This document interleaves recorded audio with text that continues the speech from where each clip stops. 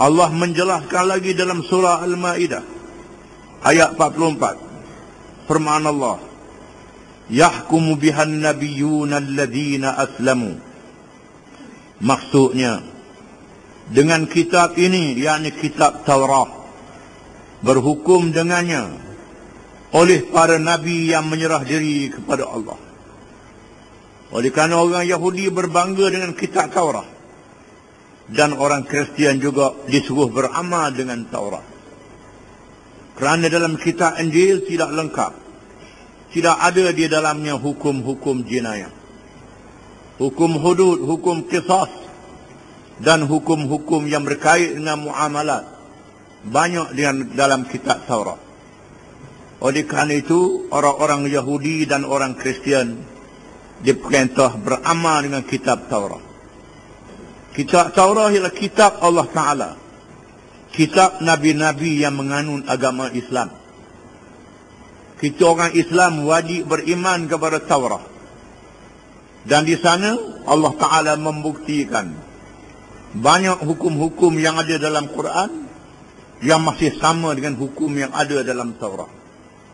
Di antaranya ialah hukum hudud apabila orang Yahudi meminda kitab Taurat, membuat hukum sendiri dalam perkara yang tak diizin oleh Allah. Dan orang Yahudi diterima menjadi rakyat dalam kerajaan Islam di Madinah. Dan mereka menerima perjanjian Madinah. Dalam perjanjian itu menyebut Wa innahu ma kana min baini ahli hadhihi as-sa'ifati min hadathin aw ishtijarin يخاف فساده فمرده ila Allah wa ila Muhammadin sallallahu alaihi wasallam. Dan apa-apa perkara yang menjadi pertelengkahan di kalangan semua pihak yang terlibat di dalam perjanjian ini yang dibimangi boleh merasakannya maka perkara itu hendaklah dirajakkan kepada Allah dan kepada Muhammad sallallahu alaihi wasallam. Apabila orang Yahudi menjatuhkan hukuman terhadap kesalahan zina dengan melomo alang pada muka mereka yang berzina, kemudian diarak di tengah khalayak ramai. Lalu mereka nak mencuba kerasulan Nabi Muhammad sallallahu alaihi wasallam. Lalu mereka menghadap Nabi sallallahu alaihi wasallam supaya Nabi menghukum kesalahan yang dibuat oleh mereka ini. Lalu Nabi SAW menjawab, Aku hukum sebagaimana hukum yang ada dalam kitab Taurat. Sila bawa kitab Taurat dan baca. Bila dibawa kitab Taurat dan dibaca, tiba-tiba hukum yang ada dalam kitab Taurat adalah hukum hudud. Sama dengan hukum yang ada dalam Quran mereka tutup dengan jari ayat yang berkait dengan hudud. Di kalangan para sahabat terdapat orang-orang Yahudi yang masuk Islam. Dan di kalangan para sahabat juga ada sahabat yang boleh menguasai bahasa Ibrani. Boleh tahu bahasa Ibrani. Dan boleh baca kitab Taurat. Lalu demi itu diangkat tangan mereka bila diangkat tangan tiba-tiba di sana ada hukum hudud yang sama dengan yang ada dalam Quran. Maka Allah menegaskan lagi dalam ayat yang kita baca ini. Yahkumu bihan nabiyun. Berhukum dengan kitab Taurah itu oleh nabi-nabi. Alladzina aslamu yang Islam. Yang Islam. Bukan Yahudi bukan Kristian. Islam dengan makna menyerah diri kepada hukum Allah. Kalau tak serah diri daripada hukum Allah, apakah hukum lain, itu bukan Islam. Bermakna tak serah diri kepada Allah. Serah diri patut lari daripada Allah. Bohong saja. Ini kena faham. Kalau Allah Ta'ala kenakan perkara ini kepada orang Yahudi, Allah Ta'ala merka, begitulah juga kita orang Islam. Ada hukum yang ada dalam Quran, kita lari pakai hukum daripada England, daripada Perancis, daripada macam-macam. Itulah juga dalilnya.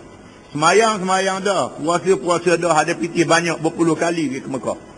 Tapi, bila siapa bak hukum yang berkait dengan jinayah, dengan muamalah, dengan macam-macam, tak pakar hukum Islam. Inilah padahnya. Inilah bahananya. Islam bermakna menyerah diri kepada Allah. Taat pada perintah dan larangannya melalui wahyu. Para nabi dan rasul adalah orang yang pertama menyerah diri kepada Allah manusia diperintahkan mengikut nabi dan rasul supaya mereka sama-sama patuh dan menyerah diri kepada Allah. Tanpa menyerah diri kepada Allah mereka masih tidak dianggap Islam. Kerana Allah mengingatkan kita dalam surah An-Nisa ayat 65 firman Allah taala fala wa rabbika la yu'minun hatta yuhakkimuka fima shajara bainahum.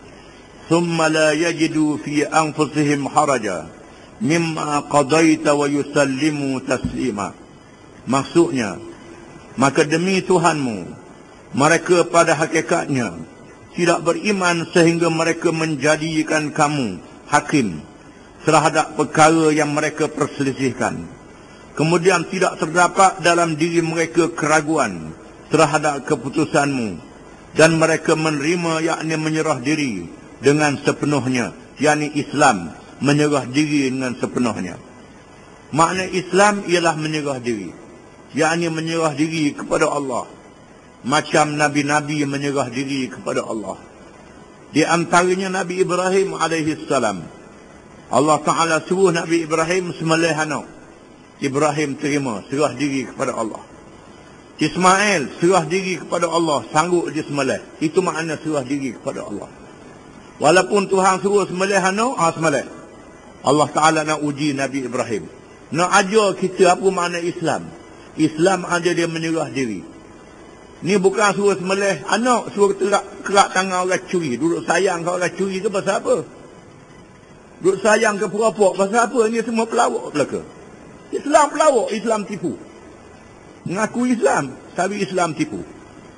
Ha, ini kena ingat. Semua hukum-hukumnya ada dalam Quran. Firman Allah. Mesti menyerah diri kepada Allah. Dalam ayat yang kita baca tadi, Nabi diperintah oleh Allah. Mengatakan, Fala wa rabbika. Dan tidak demi Tuhanmu bersumpah. La yu'minun. Mereka tidak beriman. Hatta yuhakkimuka fima syajara bainahum sehingga mereka berhakimkan engkau wahai Muhammad sallallahu alaihi wasallam kalau engkau tak ada berhakim dengan hukum Allah dan hukum hadis engkau wahai Muhammad. Itu maknanya. Dalam apa-apa perkara yang menjadi perselingkuhan di kalangan mereka.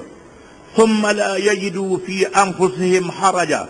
Kemudian tidak ada di dalam diri mereka rasa ragu sedikit pun. Tidak ada syok. Ini nak jalan hukum Allah mari syok. Kalau laksana hukum Allah tak majulah kita pelancong tak mari. Kalau haram arak menjejahkan ekonomi. Haramkan riba perdagangan tak berjalan. Ini syok. Mana dia Islam? Islam duduk mana? Islam bohong, Islam pelawak. Islam bohong, Islam pelawak. Bohong saja Islam. Islam mestilah makna menyerah diri kepada Allah.